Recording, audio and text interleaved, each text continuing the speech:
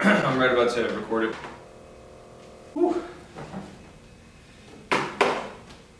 What's going on, you guys? Welcome to the Single Guy channel. My name's Lloyd, bringing you practical and actionable dating advice that really works. Uh, today, we're going to be talking about how to end a casual relationship without hurting her. Um, the truth is, the answer to this question is you're probably going to hurt her a little bit, but how can we hurt her the least? Okay, how can we have the smoothest uh, transition? Um, because casual relationships are probably the most common thing going on today in, in today's society. You know, in the modern era, people usually just like hook up, hang out for a while, and if they hang out long enough and they like each other long enough, then uh, maybe it turns into something something bigger later.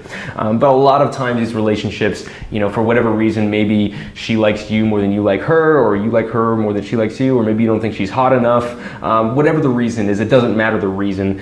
Um, it, it, matters that you, you don't want to be with her anymore. Um, and if that happens, how do you handle breaking up with that person? Because hopefully, if you've been hooking up with them for a little bit, uh, you, uh, you care at least about how they feel. So um, in this video, basically what I'm going to cover is I'm going to cover what you should actually say during that period of time, how you should handle that situation, and ultimately what's going to prevent um, catastrophes, getting your shit broken, all that stuff which has happened to me in the past for sure. So uh, the first thing that I'm going to say is if you get into this position, you probably did something wrong from the beginning, okay? If you started hooking up with a girl for like maybe three weeks or something like that, um, you say you don't want a girlfriend, you don't want a relationship, but you're calling her, texting her every single day, you're hanging out with her all the time, you're like cuddling up with her when you're when you guys are together constantly um, what is she going to think? Okay, she's going to think you guys are in a freaking relationship because you pretty much are. You're acting exactly like that. So your actions are not matching up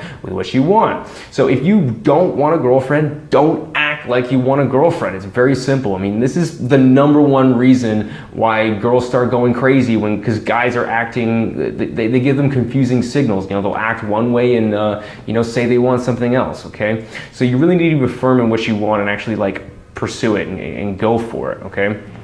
I would say if you're having a casual relationship with someone and you don't want it to end up being serious, probably shouldn't see them more than twice a week, you know? Twice a week actually, um, twice a week is actually a lot, you know?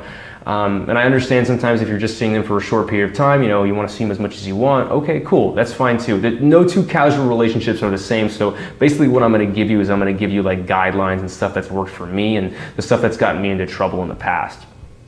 Okay, so the first thing is you want to set expectations correctly and make sure that you're acting the way that you actually feel. Um, and when I mean set expectations correctly, I know a lot of guys are probably going to be out there thinking that, oh, from the get go, I'm going to tell her I don't want a relationship and that is, this is just going to be casual. Uh, I mean, you can do that and it probably will solve a lot of your problems, but at the same time, too, you're probably going to lose a lot of women. Like, that's that kind of stuff turns women off real fast because you're basically saying, hey, you're not good enough uh, for me to even entertain the thought of a relationship with you. And the truth is, you know, in the beginning stages when you first meet somebody and you first start sleeping with them, you're still trying to figure each other out and still trying to figure out what you want from that person and you don't know them yet. And until you know them, until you've gotten to hang out with them a bunch of times, until you've had sex with them, if, if you're, if you're, if you're me, um, then you don't know if you don't like that's what you want yet. So I usually wait until I you know have that talk or, or declare that until I've gotten to know the person um, pretty well. Usually, if I've been seeing a person for like I don't know two months or something like that, then maybe I'll start to think about having the talk. And that's two months where I'm seeing them like you know maybe once a week or twice a week or something like that. Okay, so um, obviously setting expectations correctly make sure your actions match up with what you're thinking. Okay, now when you're actually ready to have the talk, when you're actually ready to break up with this person, like they're getting too clingy or something like that, um, whatever the reason is, um, you, you need to sit down and you know be firm with them. Okay, don't don't leave the possibility that things are going to happen in the future. Don't don't say things in the moment just to make them happy in that specific moment, so it's an easier time for you.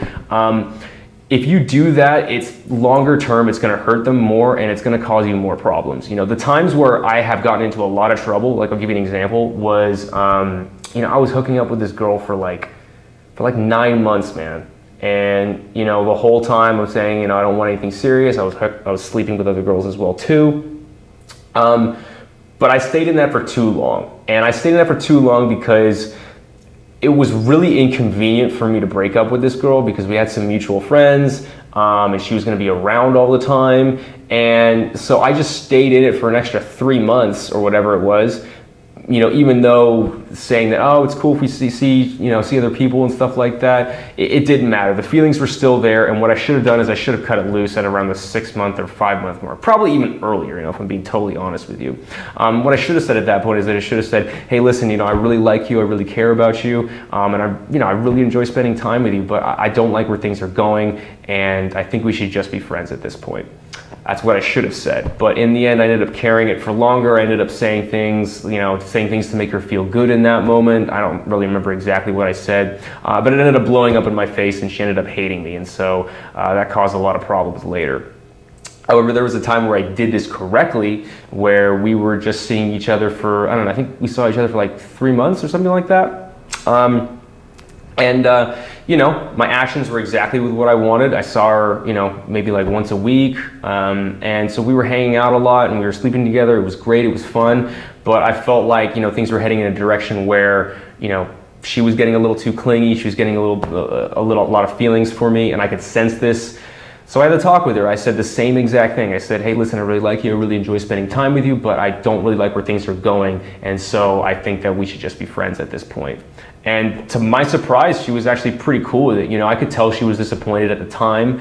Um, but my goal at that point was not to make her happy in the moment. My goal was to probably gonna probably gonna upset her a little bit in the moment, but I wanted her to be able to move on as quickly as possible and find a guy that is gonna make her happy. And to my surprise, we ended up being really, really good friends after that. You know, I still message her, she still messages me. You know, I, tell her about all the girls I'm sleeping with, that sort of stuff. it's kind of funny. She tells me about all the guys she's sleeping with. So, you know, I ended up getting a friend out of that, which is really great. So a lot of the girls that I end up hooking up with for uh, over a period of time, they end up becoming my friends because I do this correctly. And when they don't become my friends, a lot of times is because I didn't do this correctly, or, or maybe the feelings are too strong. You know, and every relationship is different. But hopefully you've learned from this and saw how you can take a casual relationship um, and basically end it and end it on a good note where you guys aren't feeling like shit and she can move on and find somebody else very, very quickly and you can do the same. So that's kind of how it works, you guys. You're going to be encountering this in the future, especially if you're a guy with options. And if you're not a guy with options, once you do have options, you're going to be experiencing this a lot too. And it's going to be a learning learning process that in of itself. Okay, cool. Well, that's all I have to say about this, you guys. If you made it to the end, consider subscribing. I come up with videos like this every single week. Uh, if you're interested in my weekly one-on-one weekly one-on-one mentorship program where I teach guys exactly how to do this, shoot me an email, thesingleguy2017 at gmail.com. Thanks a lot, y'all. Good luck out there.